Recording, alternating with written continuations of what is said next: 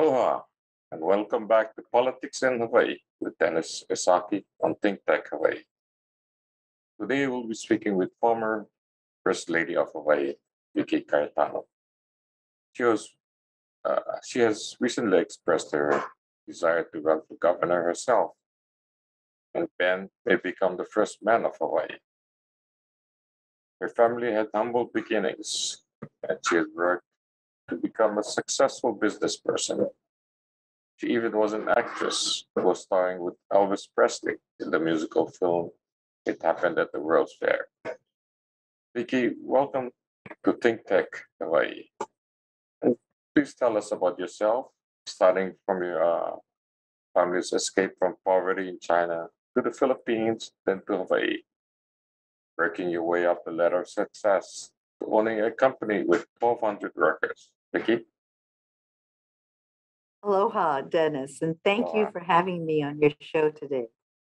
Well, I was born in the Philippines. Uh, my parents were also born in the Philippines, and my grandparents came from China. Um, we came to this country through the goodness, the good graces, I say, of my sister Ginny, who was a very talented pianist and artist. She was discovered while we were in the Philippines uh, by a friend who knew Ed Sullivan. And of course, back then, Ed Sullivan was probably the number one variety show. And he saw my sister, five years old, playing the piano, and he couldn't believe it. So he sent the tape. Back then, it was the old recording tape, and sent it to Ed Sullivan. And he said, When can she come over here? And so Ginny came over, and a year later, the rest of our clan, nine children, uh, we all came to to this country, and uh, my dad had intended to go back, but uh, by the goodness of everyone supporting us, we were able to stay in this beautiful place, and uh, we grew up on the mainland. And also through Ginny is how I got my break uh, performing with Elvis Presley in the movie It Happened at the World's Fair. So Ginny had already been on uh, um, been in a movie called Girls, Girls, Girls with Elvis Presley, and actually she had a very small part, but she did well enough that when the producer Ted Richmond wanted to do another movie and it called for an Asian young lady, he asked Ginny to uh, play again the role. Uh, but she had already been committed to perform for President Kennedy, and she plays the piano. I cannot play the piano. so my father was very resourceful and he said, Hmm, I think I'll send my other daughter to take on this role. So I walked in with a guardian accompanying me, no family with me. And even at six and a half, I knew that they were not expecting me just by the looks on their faces. So I read for the part and I got it and spent about three months in Seattle at the 1962 World's Fair uh, with Elvis Presley and also spent part of that filming in, in Hollywood. Uh, You know, back then it was very different. People learned by going to these exhibitions, right? The New York World's Fair and Seattle. Uh, that's where the genesis of all the Microsoft and all that. That's where it all started. Was that that World's Fair, and it's also the World's Fair where the Belgian waffle, the Belgian waffle debuted. Did you know that? And, It debuted in 1962, and there's a scene of me eating the the waffle. I really love to eat. I still do. and uh, so that's how I got my part. My sister still performs. Uh, I gave that up a long time ago, and uh, I started doing laundry 34 years ago. How did you start in the laundry business? So the laundry was really the brainchild of Masaichi Tasaka. Mr. Tasaka was then president of Kuakini Hospital. His idea was that healthcare should really focus on their core business and that uh, they should not be doing laundry. But he explained to me that every time he tried to create a laundry, a co op laundry, uh, the politics of all the hospitals would get into play. And so he finally started thinking that if he got outsiders to come in and manage the laundry and the hospitals would just be a customer. It was very interesting, but then I looked into Waikiki and I see all these hotels. And I'm thinking, why would you use prime real estate in Waikiki to operate a laundry?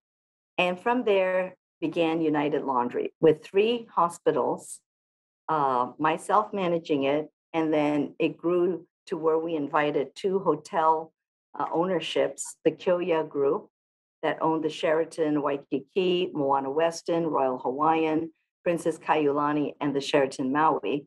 Uh, and then also after that, the Outrigger uh, family. A- And, so for many years, the six of us were partners in this laundry venture. It's been very, very rewarding, but it's hard to believe that 34 years have gone by so quickly. It's very uh, important uh, part of uh, the hospitals right now, the hotels also, right, with the pandemic. That's right. You know, uh, it may not be a glamorous business.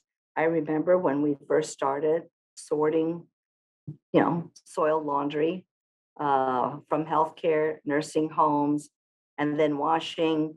I did everything except drive a truck. Never been a good driver. so I did not drive a truck, but everything else I did with our initial group of 25 employees. Uh, and steadily, slowly, and steadily through everyone's dedication and commitment, you know, we grew the business to where uh, pre-pandemic we were about 1,200 employees throughout the state.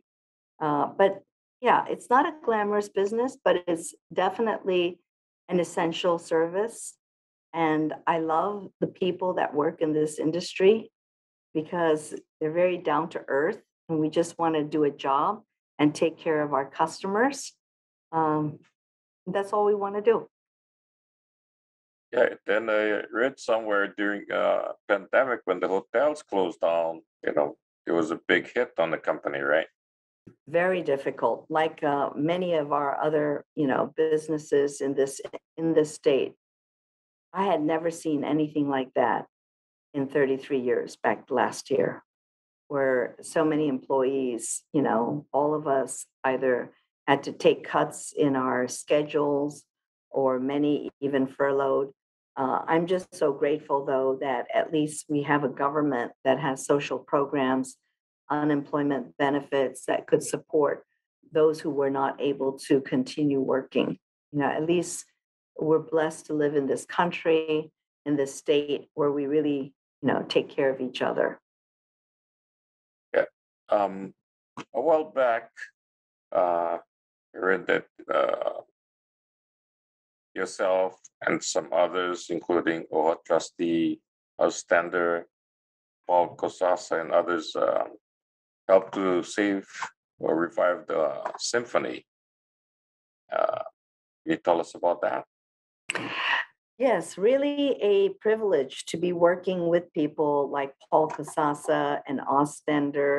So what happened was the former symphony, the Honolulu Symphony, had filed bankruptcy. And a group of us were very concerned because it's not just about playing concerts for a few people. It's about music education in our schools, to our young people. We are in the middle of the Pacific Ocean. And if we don't have those musicians here to teach our students, what kind of hope do they have for the future? Um, every state in this country has a symphony orchestra. Every state. So, in our mind, how could Hawaii be the only state without it, especially given our logistics and where we're positioned here? And, and so we banded together as a team and thanks to the Kosasa family, I worked with the trustee because it had gone into bankruptcy, worked with the trustee to get them to sell all the assets of the symphony as a lot versus individual pieces. Because if it's sold individually, a lot of people could have bought a small piece of it, and then you couldn't keep the symphony intact anymore. So the Kosasas uh, put up the money to buy all these assets so that we could form the Hawaii Symphony Orchestra. And that's important because Honolulu Symphony uh, notates playing for Honolulu. Hawaii Symphony is a symphony orchestra to support the entire state from Kauai to the Big Island. Yeah, that's great. Um, the company also supported some other nonprofits too. Can you mention some of the things you've been involved with? So our leadership and our company has always been about giving back and supporting the community that, you know, gives you so much. And so, yes, we've support over 40 different organizations um, from Food Bank, IHS, Institute of Human Services, anything that can, you know, has an impact to our community, uh, we want to be a part of it. But the symphony is a wonderful story because it's been now 10 years later and uh, the music is still playing. As recently as this year, out at the Waikiki Shell, we had some wonderful outdoor concerts for our residents and visitors to enjoy as well. I, I think to me, that is what's really meaningful about one's life is what you leave behind, not just what you enjoy, because you can't take anything with you, but what you leave behind and the legacy you leave behind is really important. Yeah, um, it's great. I remember that time I was thinking symphony. I think it was Gerry Spence, the attorney and author. He was attorney for Imelda Marcos. In his book, he said something like, "Oh, some people will, you know, step over a dying man in the street to get to the symphony or opera or something." Like, so I was thinking, like, "Oh, is that what it is?" I'm glad that you know it's it's. And I told I told you that too. And I'm glad it's uh, you're concerned about you know everybody. Oh, yeah. Yeah, It, it's also our musicians, you know, Yeah. them if you meet Yeah, yeah, them. I mean, yeah, yeah. a lifetime, huh? No, for them to quote, I just quote, I just quote, quoting what he said. so that came to mind. Um, you know, you seem to have a comfortable life now. Uh, why would you uh, want to run for governor? You know, my friends ask me that, Vicky, you have, a you have a good head on your shoulders. Why are you running for governor? Well, seriously, you know, our state has never been, I think, at a more critical juncture than where we are right now. Uh, and with this pandemic, the economy, uh, where it's at, what kind of tourism are we going to have in this pandemic and post-pandemic world? What about our climate? What about a plan for COVID, climate change? Uh, if you read the, the paper today, you know, the median home is over a million dollars. How, how many young people can afford to stay here? And how many have already left us? And if the future of Hawaii is not staying in Hawaii, what kind of future will we have? All those things really weigh heavily uh, on my heart. And, and I've been thinking about it for a while and, and uh, I just feel that the time is right. I have no, no agenda here. I have a great job, wonderful family. Uh, I don't need to do this, but I have to do it because I care so much. And you're once a Republican, but now you're a Democrat. Well, I was never active in politics, you know, between working and then raising two Right. children. Um, and running a laundry is a very tough job. I mean, people in the in the industry know it's literally 24/7. Uh, I never really had time to do anything else except family and work, like so many people. Right. And the Republican Party that I was a member of 25 years ago, up to 25 years ago, was a very different Republican Party. You know, but I've been a Democrat for the past 24 years. And my values of pro-choice, of urgency in addressing climate change and global warming, warming, and uh, minimum wage for working people, those are values that are really at the heart of what the Democratic Party stands for. And uh, I'm very proud to share those values and to represent them in the community.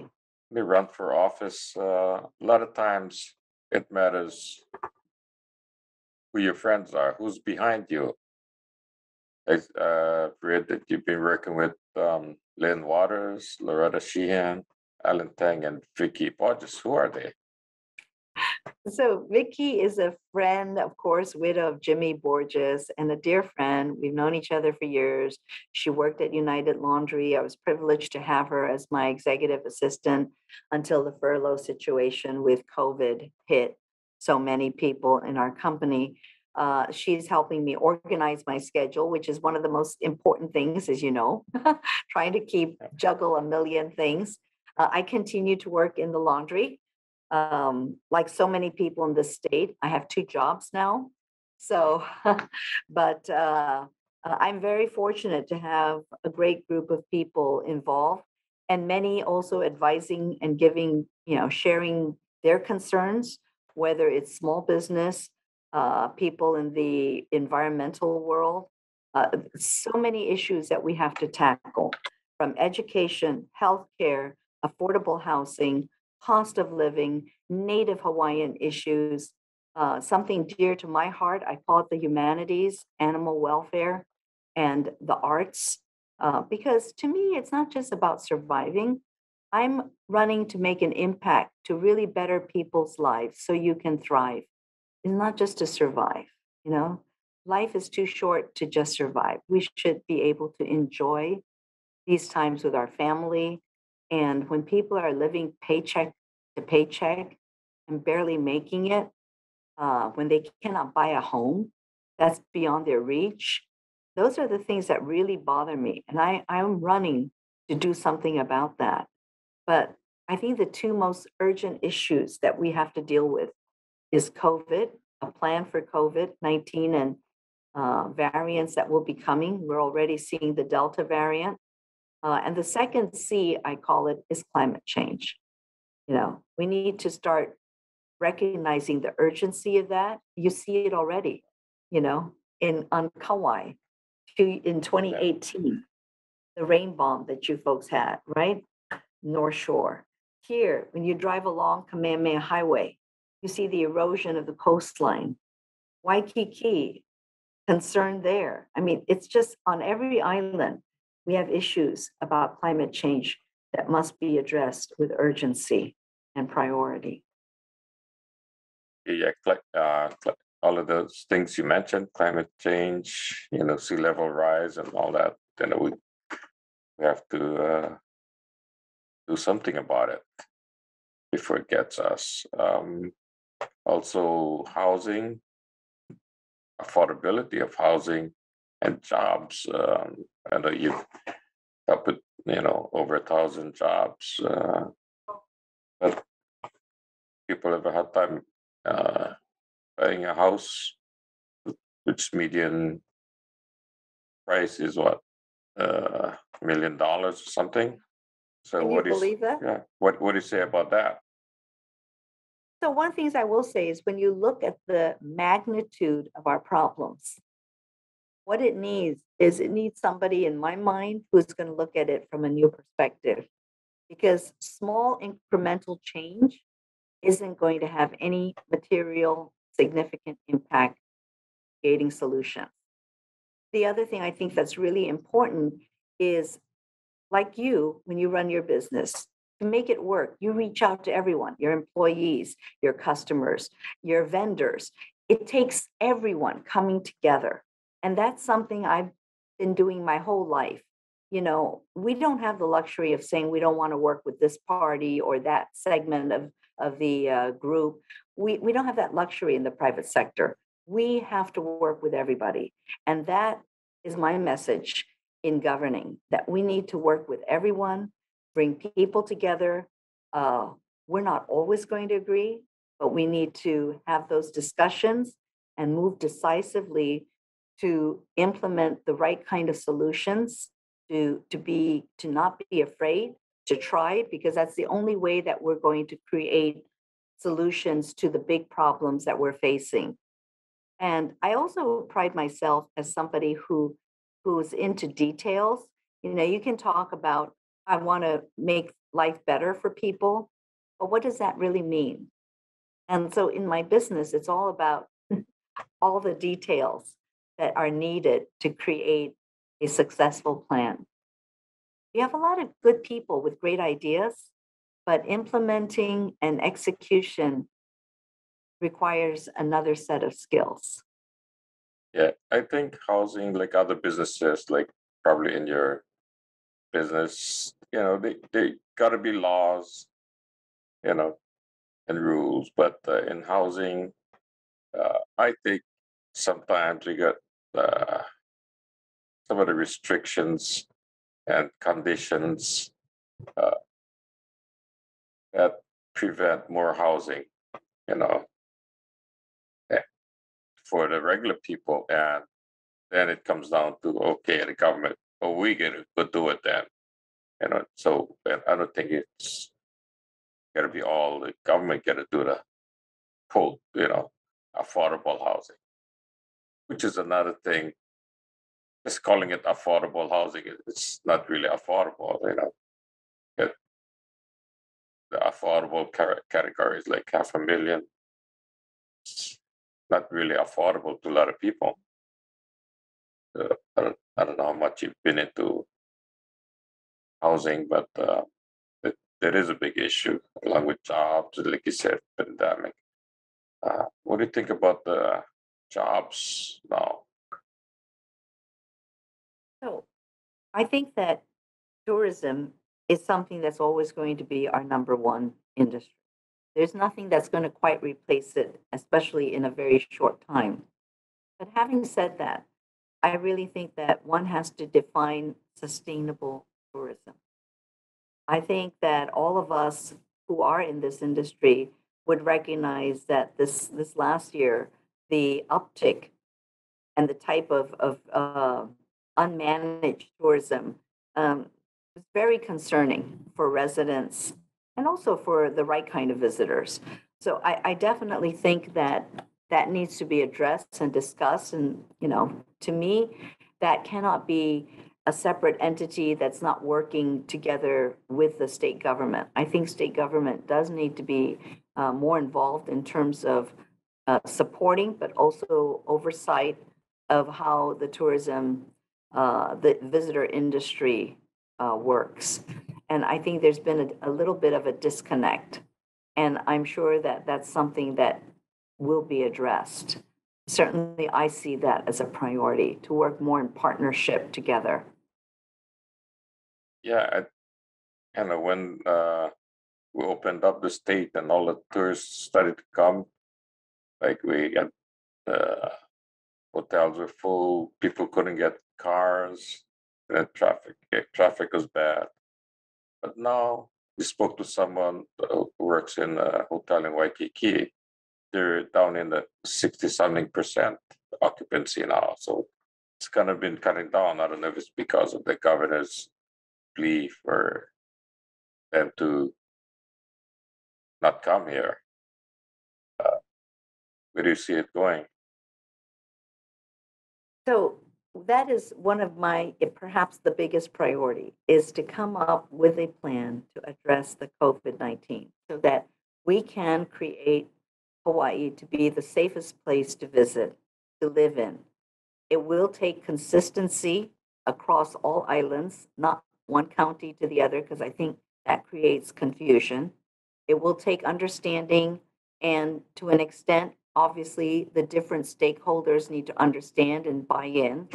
But that to me is a very critical goal so that we don't have to live on this roller coaster ride of going up and down. We can't afford more shutdowns. And yet, without a lockdown, this thing seems to be getting out of control. We need hospitals to be open not only for COVID uh, people, but for those who need other services as well. And so that's top of my priority as I campaign to be the next governor. Uh, yeah, a lot of these things uh, surround uh, the pandemic plans. Uh, jobs, tourism. uh, You know, right now there's uncertainty, and uh, we need a good leader. Uh, you know, coupled with the normal issue, like you said, the normal people who go to the hospitals and the other topics like Native Hawaiian, you know, uh, hmm the issues or, you know, things that we gotta uh deal with. You know, get only focus on on the pandemic, but meanwhile you get people trying to make a living. That's right. Yeah. You're absolutely right, but we need to get a handle on COVID so we can talk about all these other important issues. But I have a lot uh, that I'll be rolling out on my website. So when you have time, I hope you'll check it out, Dennis. Yeah. www.vickyforgovernor.com. Uh, But I'll be rolling Yeah. out what I, what I'm working on. But to me, yeah, climate change and a plan to deal with COVID-19 so we're not on this wild ride of uncertainty, which leads to a lot of frustration, anger, you know, everybody's just like, so we, we've got to get this under control and we can get it under control, but we have to have a plan. Yeah, kind of kind of backtrack. I mean, you know, everything is, you know, life's lessons, but going back to college, you went to Stanford. What did you study? Well, I didn't graduate from Stanford. I went Oh. for two years. And uh, and then I I started a business and somehow too much being too much of an entrepreneur. If I had to look back, that is probably one of the things that I would say I regret is not completing that. Uh, you you did a lot, um, lot more than a lot of college grads. Uh, it was a. uh, started um, my graduate work in urban planning, so I'm a dropout there. I'm also a dropout from uh, Dale Carnegie class, and both of them were the, because of the two hurricanes. yeah. Uh, Well, you speak very well. no, no, Thanks, no. Saki. So you have your own show, Yeah, doing great. No, one thing, one thing I thought was kind of funny. I think read somewhere that when you first first met Ben, you see, you said he was down to earth. He didn't talk a lot, and he was very humble. it's it's here. I don't know. I guess he learned to talk a lot more later. um, we're getting close to the end. Any uh, closing statement? We got a couple of minutes. No, I just want to thank you for uh, ha- giving me the opportunity to speak to you and your audience. And uh, I'm humbled to be able to make this run, you know, and uh, have an opportunity to serve. And I'm going to do everything I can, earn your trust and your vote. Yeah, thank, yeah, thanks for joining us and, and thanks for everybody for listening to Think Tech Hawaii. Uh, we'll be back again on Politics in Hawaii in two weeks. Thank you and aloha.